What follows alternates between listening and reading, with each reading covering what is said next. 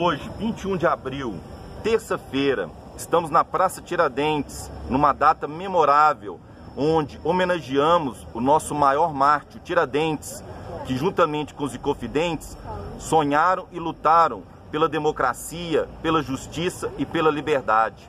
Em tempos de pandemia, realizamos a cerimônia com a praça vazia, sem público, para que pudéssemos manter isolamento social.